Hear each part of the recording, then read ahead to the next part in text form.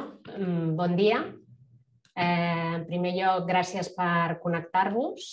Eh, això ja vol dir que teniu un interès per la nostra especialitat i això és un orgull per nosaltres. Eh, en primer lloc ens presentarem i després farem una petita presentació, introducció del que és l'especialitat en el nostre hospital. Eh, en primer lloc, bueno, dir-vos, jo soc Maria Jesús Bertran i soc tutora de residents. Yo soy Lourdes, eh, yo soy Lourdes Barón, soy residente ya de cuarto año. Yo soy Marta Aldea, eh, también tutora de residentes. Primero de todo vamos a hacer una pequeña introducción a lo que es la, especialidad en global. Es una especialidad que, según la, definición oficial, capacita para la investigación, la aplicación y el fomento de políticas, actividades de promoción, protección y vigilancia de la salud de la población, importante aquí la palabra población, la identificación de sus necesidades sanitarias y la planificación, gestión y evaluación de los servicios de salud. Es una especialidad en la que nos salimos de un poco lo que hemos conocido todos y todas a lo largo de la carrera, además de poder tratar eh, pacientes, personas individuales, tratamos poblaciones o conjuntos o grupos o comunidades de, pacientes y o ciudadanos, no siempre hablamos de pacientes, y se divide en estas, aproximadamente en estas seis áreas, depende de la clasificación que busquéis, pero epidemiología, administración sanitaria, medicina preventiva, salud ambiental y laboral, promoción de la salud, y también hay un componente de investigación aplicada en, el resto de componentes. Esta especialidad eh, también tiene una particularidad respecto a las otras, que es que durante R1 se hace el máster de salud pública. Dependiendo de la comunidad eh, donde hagáis la especialidad, esto tiene unas características u otra. Aquí se, eh, se hace en la Pompeu Fabra. Es un máster oficial, que es una ventaja porque en la mayoría de comunidades no es un máster oficial y tiene ventajas de cara a reconocimiento en convocatorias o de trabajo, de becas o a nivel internacional. Es un máster multisectorial, se hace junto a otros profesionales que que han estudiado otras carreras, que tienen otras profesiones sanitarias o no. Es un máster principalmente enfocado en objetivos de salud pública y eh, la, mayor parte del máster y su cuerpo teórico se hace durante el primer año y la tesina se finaliza eh, aproximadamente en el primer trimestre del, de R2. Como podéis ver, eh, es un máster que está asociado a muchas instituciones y vienen profesores de todas estas instituciones que tienen algún tipo de relación con la salud pública. La residencia, ahora ya pasando a hablar un poco ya de las particularidades concretas de la unidad eh, docente de aquí del Clinic. nuestro calendario, bueno, nuestra organización de las rotaciones eh, en el caso de R1, los tres primeros meses de verano antes de incorporarse al máster, que empieza en septiembre. Eh, en el próximo año será una, además de una rotación de urgencias durante un mes, puesto que luego hay opción eh, voluntaria a hacer guardias de urgencias. también se hace una rotación de introducción a la investigación eso durante esos tres primeros meses y luego durante los nueve siguientes se hace eh, en exclusiva o con dedicación exclusiva el máster de salud pública, pese a que también hay la opción de participar en algunas actividades del servicio como sesiones o actividad docente en, la universidad en el grado de medicina. Llegamos a R2, es un año de rotaciones eminentemente de medicina preventiva dentro del hospital como serían las de vacunas, cribado de cáncer de colon y mama, eh, atención al viajero, eh, seguridad y calidad clínica y duraría aproximadamente eso, los, los 12, estos 12 meses de R2. En el caso de, llegar, ahora hablando de R3, hay unos primeros seis meses de atención primaria que se hacen en los CAPS asociados al clinic, que son los CAPS del CASPE, y luego Pese a que hemos puesto esta organización, puede variar un poco en función de, la organización de las rotaciones, del perfil de residente y sus intereses, pero las siguientes rotaciones son eh, externas habitualmente al servicio, que no quiere decir que sea una rotación eh, externa a nivel de convenio, sino que eh, físicamente se suele rotar en otros dispositivos asociados a la unidad docente, en, el ámbito de investigación, salud pública y gestión en salud. como, como, está arreglado en el BOE, en el caso de hablar de rotaciones de convenio externa, son eh, cuatro meses por año de residencia como máximo. Esto en, todas las unidades docentes. Otras particularidades de la residencia de preventiva aquí en el Clinic sería, por un lado, las, las guardias, las, las MAC, los módulos de atención continuada, que se hacen a partir de R2 y suelen ser tres, cuatro cuatro tardes al, mes y eh, las guardias de urgencias que como comentaba antes son opcionales. El contenido de estas guardias varía un poco según en el momento epidemiológico, las necesidades también que haya en ese momento o proyectos o iniciativas en el servicio y tiene un componente mixto de ser guardias por objetivos o, que haya un, componente fijo de, por, por guardia. En cuanto a sesiones, se hacen sesiones quincenales, aunque ahora vamos de cara a aumentar, eh, incluso a veces eh, llevan un ritmo semanal estas sesiones. Como mínimo, el residente hace una o dos guardias, una o dos sesiones por año. Eh, pero mm, al menos últimamente yo creo que hemos hecho más de dos sesiones y lo cual es bastante bueno y eh, también eh, se puede hacer sesiones en los servicios o organismos a donde, a donde, vas a, rotar cuando rotas fuera del servicio. En cuanto a cursos y congresos, aparte del máster de, salud pública, también eh, esta especialidad tiene un componente muy, de asistencia a cursos teóricos, a asistencia a congresos. Eso también es, es bastante importante en, esta especialidad la docencia universitaria, participar en la docencia del grado de medicina de la UB también es una opción para nosotros, principalmente en seminarios y talleres, y esto es una cosa que, últimamente mm, va, más. Y por último, en el ámbito de, investigación, por un lado, eh, tenéis el trabajo final de máster del máster de salud pública, que habitualmente se hace en alguna línea del servicio también el servicio tiene, tiene eh, lidera o lleva eh, ensayos clínicos de vacunas. Aquí la doctora Aldea es la referente de ello. Y además de líneas investigadoras propias de cada una de las secciones que ahora veremos. Como comentábamos, este servicio de preventiva del Hospital Clinic, las, secciones principales serían el centro de vacunación del adulto, vacunación especializada, los programas de prevención de cáncer de colon y, mama del área del hospital y parte de, área de Vallebrón, la epidemiología hospitalaria y la vigilancia epidemiológica. Pensad que aquí es una especialidad en la que estás en constante mm, contacto con otros organismos, con otros dispositivos, por ejemplo, uno de los eh, más frecuentes es la Agencia de Salud Pública de Barcelona, que es nuestro referente en temas de salud pública. Aquí también tiene esa parte importancia. Además de, eh, es una especialidad eh, transversal en todos sus aspectos y formas. Por lo tanto, hay un fuerte componente de trabajo mm, transversal con otros servicios o o dispositivos del hospital en, temas de seguridad, eh, clínica, farmacovigilancia, el comité de ética, salud laboral. Aquí os hemos traído un poco, porque hemos venido nosotras tres, pero somos un servicio, como podéis ver, eh, con, muchas personas.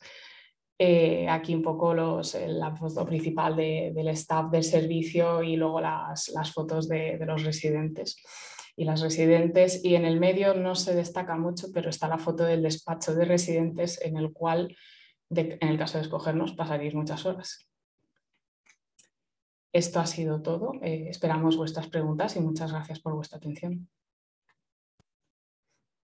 Si tenéis alguna pregunta, vemos, bueno, aparte de que Valeria, nuestra casi R3, eh, está conectada, eh, también por si alguna pregunta ella quiere responder.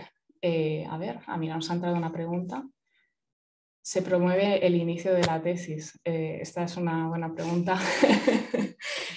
el inicio de la tesis, podríamos hacer una charla específica sobre la tesis doctoral, pero depende esencialmente de, que eh, tú hayas llevado una cierta trayectoria en una línea de investigación y trabajes en conjunto con un investigador que esté capacitado para, para dirigírtela. Eh, hablando de yo, por ejemplo, la he iniciado porque se, se, dio esas circunstancias, o sea, antecedentes, también ha habido otros antecedentes previos que durante la residencia o justo al acabar con el premio de, con el contrato fin de residencia han iniciado la tesis. Eh, es un, es, o sea, la posibilidad existe, pese a que mm, depende también de, tu desempeño interés y, personal y de que hayas encontrado también esa, esa línea, esa trayectoria que te haya enganchado, por decirlo así. ¿Por qué elegisteis el clinic? bueno, aquí yo creo que podemos, las, eh, bueno, la doctora Aldea y, la doctora María Jesús son ex residentes también del clinic. Así que... Podemos responder sí, todas. sí, exacto. Sí, bueno, sí, bueno, yo en mi caso es, es, una, es una unidad docente en la que tiene un fuerte componente de, medicina preventiva, además de, luego también unos meses importantes de, rotación en otros ámbitos de la salud pública. A mí también yo soy de Barcelona y quería escoger Barcelona. Entonces, eh, un poco por esa combinación fue lo que me llamó y entré sin expectativas o sin una línea pensada concreta y luego ya la, la vida te va llevando. Eso fue mi caso.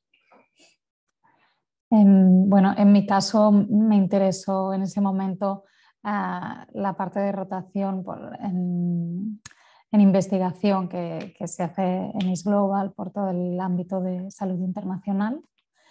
Pero bueno, realmente es una especialidad que es súper amplia, que la mayoría de la gente creo que cuando la empieza a hacer no es consciente de todo lo que, lo que abarca. E igual inicialmente tenías un interés que luego acaba cambiando porque descubres eh, ámbitos de la especialidad que ni siquiera sabes que, existían. ¿no? Em, pero bueno, en mi caso fue por el, ámbito de salud internacional que al final no, no me he acabado dedicando. Yo creo que, bueno, mi motivo fue básicamente porque, como decía Marta, es una especialidad con diferentes ámbitos. Creo que el Hospital Clínic en este sentido eh, te permite ver esta visión amplia de las diferentes áreas, tanto más en el hospital propiamente, lo que es la especialidad eh, de medicina preventiva hospitalaria, y aparte te permite eh, también profundizar en líneas de investigación y eh, gracias a las rotaciones externas y a las mismas colaboraciones dentro de la unidad docente, pues la actividad en salud pública propiamente. En este sentido, creo que, la oferta es, cubre los diferentes aspectos de, la especialidad de, de manera, creo que correcta. Preguntan cuántos Max se permite hacer. Eh, a ver, esto, bueno, también enlazo con una pregunta que me han hecho por, otros foros. Eh, ahora, o sea, en R1, y esto creo que será en casi todas, todas las unidades docentes de Barcelona, no se pueden hacer Max porque hay exclusividad eh, de, dedicación al máster. Esto por un lado. Eh, a partir de R2 entre 3, 4, 5, dependiendo del mes, dependiendo de cuántos residentes hay en el pool de guardias, porque las rotaciones fuera de Barcelona no, no, no te permiten hacer, entonces, hacer estas, o sea, estas guardias. Entonces, depende de un poco de, de, la cantidad de gente también. A veces hay gente que hace un poquito más, un poquito menos, pero contad con tres o cuatro así de, de media.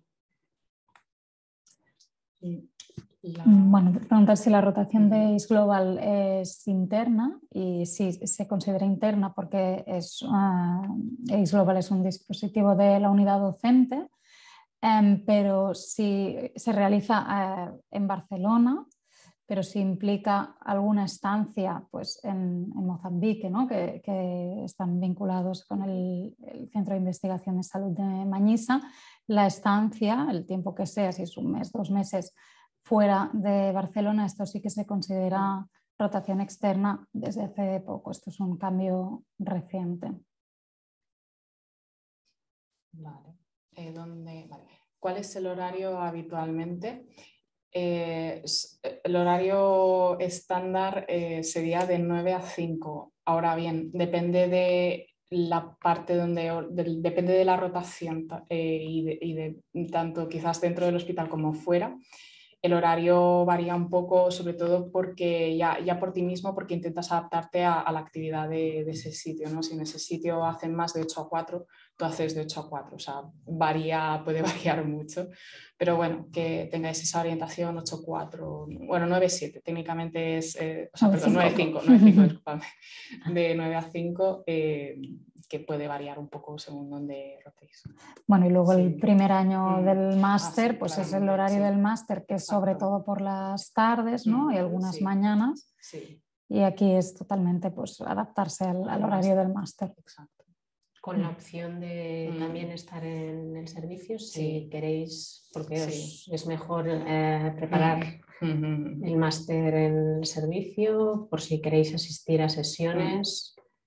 Sí. para nosotros lo ideal es que, que, no, que no perdáis el contacto totalmente con el servicio, con el hospital durante eh, el máster, ¿no? Y pues si por las mañanas, aunque no estéis haciendo trabajo del servicio y estáis haciendo pues un trabajo del máster o lo que sea, pues estar en el, en el hospital pues está bien de cara no, a no perder el contacto, a poder asistir a sesiones. Mm. Por ejemplo, la tesina del máster, el trabajo fin de máster, también puede ser una de las actividades a, desarrollar en el servicio. Sí, exacto. Pensad, sobre todo ahora con los últimos cambios que se han hecho a nivel de, toda Barcelona, que la, tesina, o sea, lo grueso de la, del trabajo final de máster, se tiene que realizar de R1 y en el primer trimestre de, R2, primer, bueno, casi semestre, ¿no? Entonces, eh, la, tesina sí o sí la, empezaréis de R1 y como la, haréis vinculada a vuestra unidad docente, también es, eh, habrá mañanas que, que tenga por, la propia tesina que tengáis que, que, asistir, aunque es básicamente el horario del máster. También dependerá el otro de, reuniones. Realmente yo creo mm. que, esta especialidad, a diferencia de otras, el primer año es mm, de los más duros, ¿no? Mm, porque el, máster pues, eh, exige, exige mucho. Y luego va, bajando un poco la carga de trabajo. El primer año es el peor, yo creo. Aunque ahora con esta regulación que se ha hecho, que es exclusividad de máster, pues ha mejorado, pero, pero igualmente no deja de ser un máster exigente preguntan por salidas laborales. Bueno, yo es lo que decía antes, que es una especialidad que mm, eh, puedes acabar haciendo cosas totalmente distintas y, realmente hay muchas salidas. Mm, otra cosa es que digas, no, es que a mí me gusta solo la preventiva hospitalaria, pues entonces igual ya está más complicado, pero puedes, puedes trabajar en preventiva hospitalaria, puedes trabajar en la administración pública, puedes eh, dedicarte a investigación Ah, en, muchos ámbitos, tanto en, la industria como en, la administración pública, ¿no? Em, en vigilancia epidemiológica, no sé, es que tiene, tiene muchas salidas. Mm.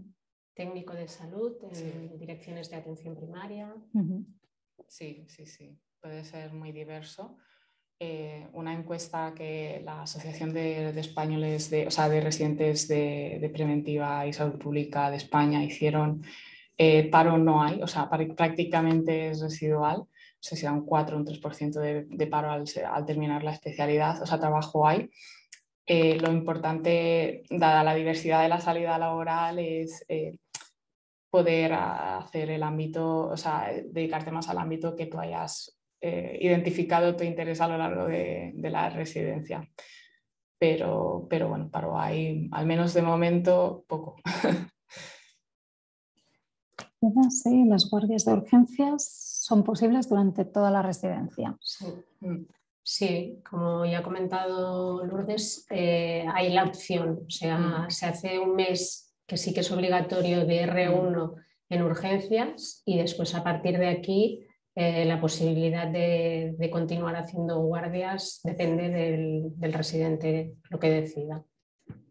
es verdad que luego hay, como hay posibilidad de, hacer rotaciones externas y que ya no estás, tu base ya no está en el hospital, mm. pues igual, aunque haya la opción, no es tan fácil de, compaginar, pero... Sí, sí, mm. sí. Y yo creo que también tenéis que pensar para esta unidad docente y para todas en las que se puede hacer urgencias, que al no tener formación continuada en las rotaciones de, cara a la asistencia, conforme vas aumentando de R, de año de residencia, tu rol en las guardias va cambiando. Entonces, a no ser que eso esté contemplado también, es, una situación que, bueno, depende del residente. Hay residentes eh, que han estado, creo que, todos los años de la residencia haciendo. Pero bueno, es una, idea que tenéis que tener en mente.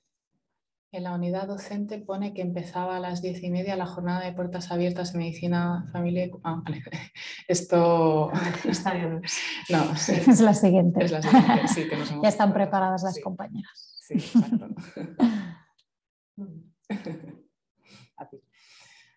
Vale, pues si no tenéis ninguna pregunta más, lo dejaríamos aquí.